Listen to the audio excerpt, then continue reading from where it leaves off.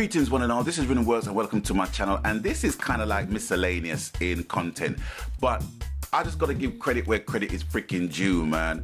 I just want to big up an East London guy made good in Hollywood, major popcorn freaking player, took the American dream, held it in his hands by its nuts.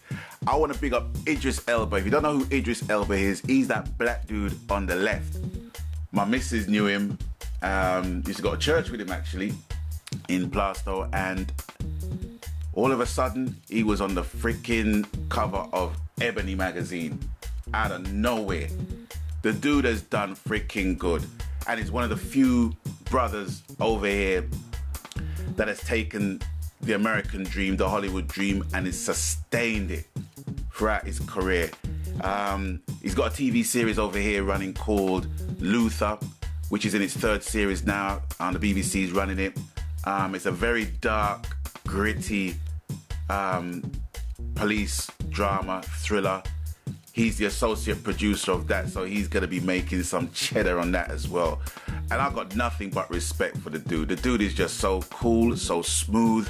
You know, he's a professional. You know, and he's he's acting in one of the big blockbusters this year, directed by Guillermo del Toro, who um, directed the Pan's Labyrinth. It was one of the first movies that really mesmerized me in terms of fantasy horror genre. So enough respect to him. And that is basically it. You know, I'm just one of these people. Is like if I see somebody doing well and they're handling their business, then you know you can only wish success well. And Idris, big up, big up, big up. You're going in good star. anyway, I'm out of here. Ha- whatever you do, have a blessed day. Happy gaming peeps. I'm out of here. Peace.